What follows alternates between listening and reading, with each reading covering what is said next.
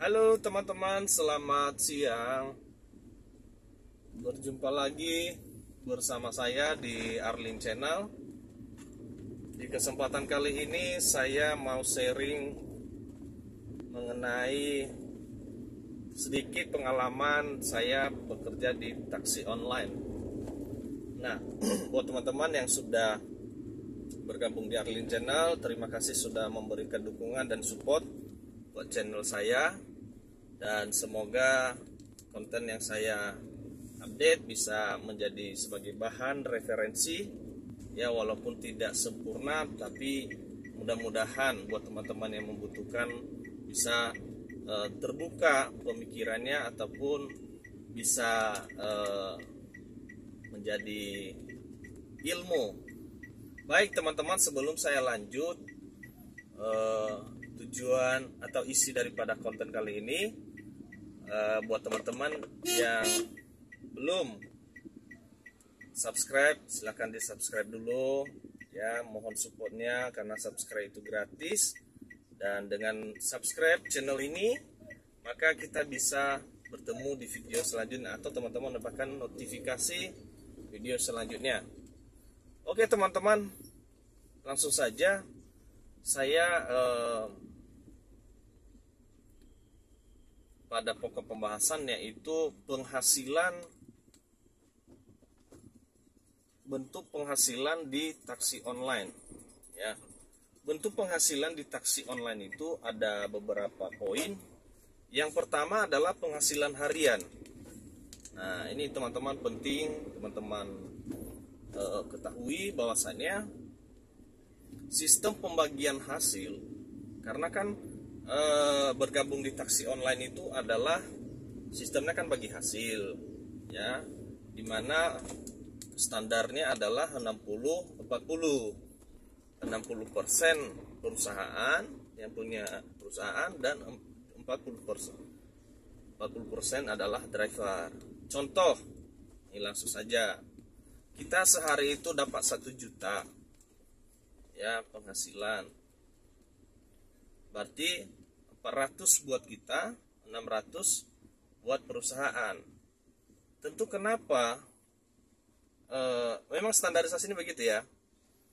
Yang kedua, namun di dalam di 40% itu kita masih tanggung yang namanya minyak, teman-teman. Makanya teman-teman jangan kaget. Wah, 400 ribu masih saya tanggung minyak. Tapi kan masih ada yang namanya bulanan, teman-teman masih ada yang namanya bulanan. Bulanan itu adalah nanti kita terima di akhir bulan.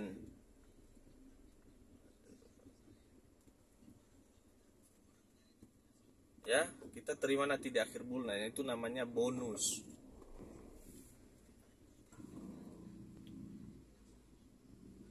Bonus. Nah bonus itu tentu adalah merupakan tambahan ya teman-teman ya merupakan tambahan untuk penghasilan kita sebagai driver di akhir bulan. Nah, setelah eh, itu tadi eh, bonus dan penghasilan harian. Nah, berarti contoh kalau kita hanya dapat itu ya, eh, kalau kita hanya dapat harian saja tidak dapat bonus berarti kita tidak mencapai namanya target. Itu teman-teman. Makanya biasanya strategis uh, driver ataupun kita di setiap pekerjaan sehari-hari ya kita juga memang kejar yang namanya uh, penghasilan harian sehingga kalau target penghasilan harian atau standar daripada yang sudah ditentukan oleh pihak perusahaan maka harapan adalah kita dapat bonus di akhir bulan seperti teman saya di video saya sebelumnya, ya eh, sembilan penghasilan ditotalin, ditotalin selama satu bulan itu penghasilannya 19 juta. Nah hariannya rata-rata ini langsung beliau yang menyampaikan 250 sampai 300 ribu. Jadi kalau contohnya hari kerjanya adalah 22 hari atau 24 hari dalam satu bulan kali 250 ribu. Nah itu berapa? Kurang lebih 6 juta juga. Tuh teman-teman 6 juta penghasilannya. Nah belum lagi bonus. Nah anggaplah bonus dia ya untuk buat simpanan atau buat yang lain kan gitu. Tapi itulah sistem kerja di perusahaan taksi kita memang tidak punya tidak seperti karyawan yang lain di perusahaan lain punya gaji kar, punya uh, tunjangan punya gaji bulanan. Oh di sini tidak. Nah itu sistemnya adalah penghasilan setiap hari. Ya itu teman-teman mengenai sistem penghasilan di taksi online. Nah, yang kedua, apa sih penghasilan kita selain daripada eh, pembagi apa penghasilan harian dan bonus yaitu uang tip teman-teman. Makanya di saat eh, apa namanya kita training harus kita benar-benar menerapkan pelayanan yang prima kepada customer, memahami gimana sih uh, mungkin teman-teman karena masih baru ya gimana sih uh, pelayanan yang baik supaya customer-customer ini merasa di merasa senang merasa nyaman uh, naik mobil kita ya tentu harus ada yang namanya service. Itu namanya pelayanan atau pelayanan prima.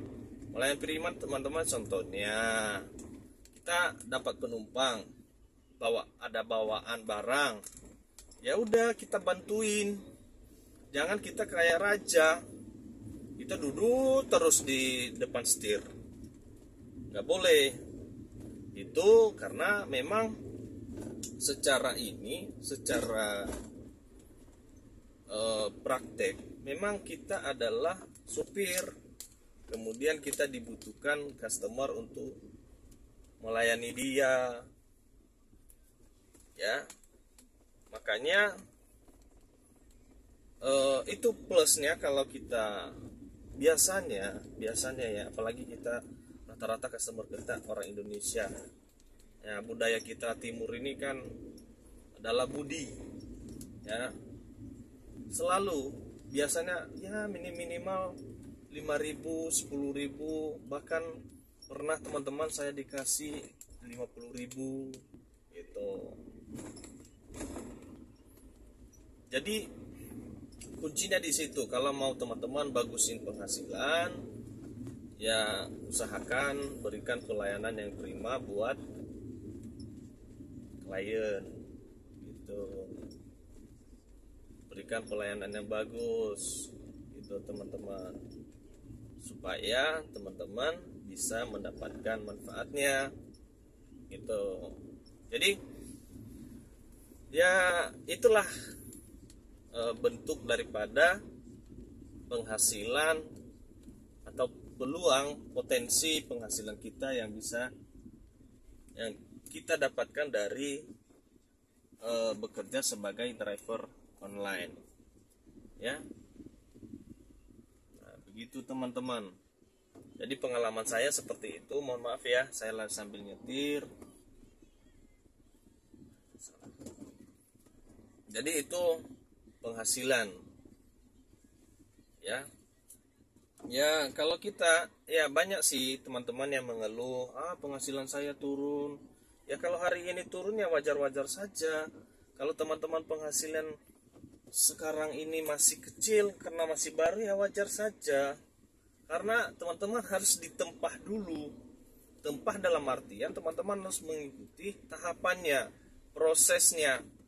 Nah supaya gini kita baru kita mengharapkan penghasilan besar sementara kita belum bisa maksimal.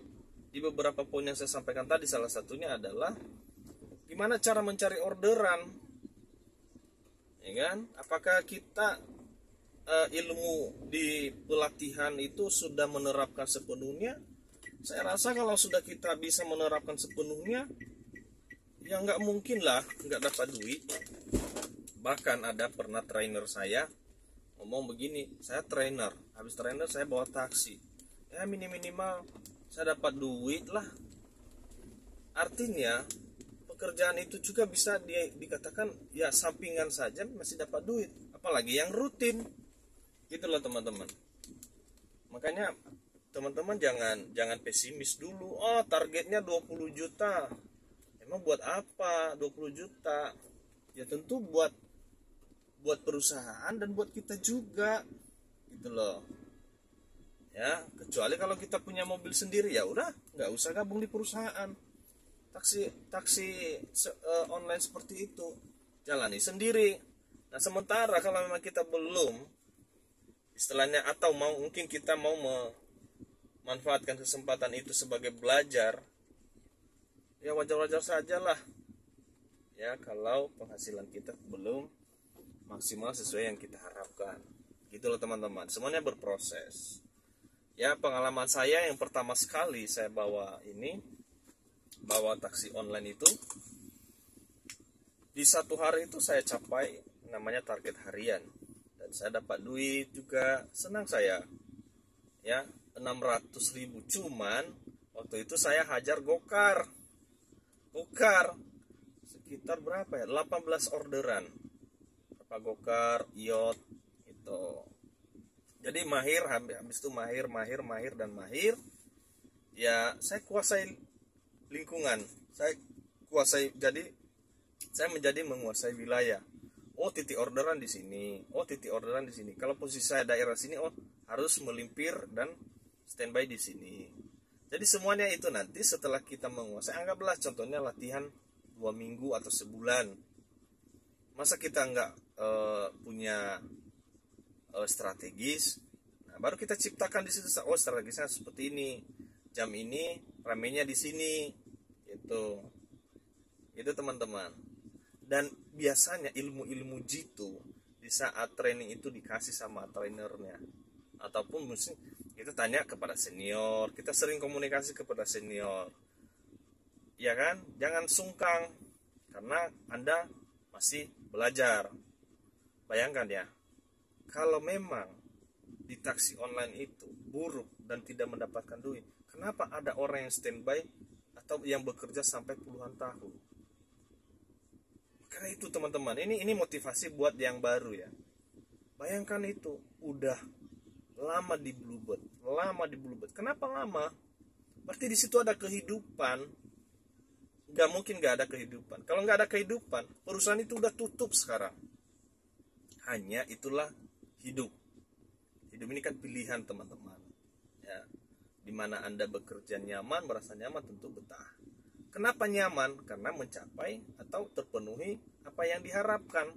Itu kuncinya. Ya. Oke teman-teman, sampai bertemu di video saya selanjutnya dan semoga ini menjadi motivasi kepada teman-teman yang baru dan yang tidak punya kegiatan yang ingin bergabung dan masih penasaran ya hanya ini yang bisa saya sampaikan dulu di video kali ini karena kalau terlalu panjang nanti teman-teman bosan untuk menonton videonya. Uh, ya. Oke sampai di sini teman-teman. Kebetulan juga saya sudah sampai di tempat tujuan saya dan saya mau segera turun. Terima kasih sudah meluangkan waktu uh, sampai ketemu di video saya sebelumnya. Buat teman-teman yang baru bergabung jangan lupa untuk subscribe agar mendapatkan notifikasi video saya selanjutnya di uh, ke depannya Oke, selamat siang. Sampai ketemu uh, di hari yang lebih baik lagi. See you.